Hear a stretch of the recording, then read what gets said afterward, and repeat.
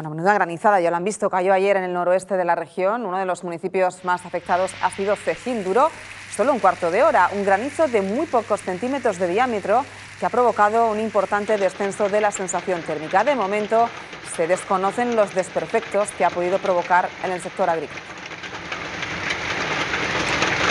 Una imagen que se repetía en otro municipio del noroeste, en concreto en Caravaca de la Cruz, eso sí, con algo menos de intensidad, una granizada repentina que obligaba a los vecinos que se encontraban en la calle a buscar refugio.